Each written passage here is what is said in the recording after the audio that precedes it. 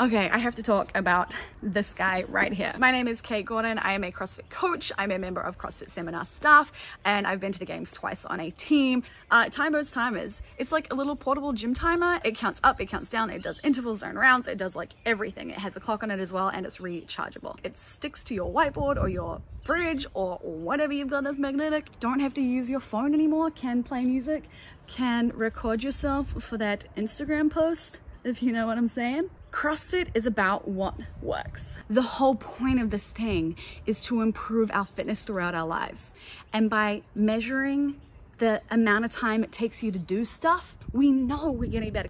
Without tracking the data, you don't know. You just don't, you don't know. You, this is it. This is the key. This is the key to knowing if what you're doing is working. I love this thing. Can you tell?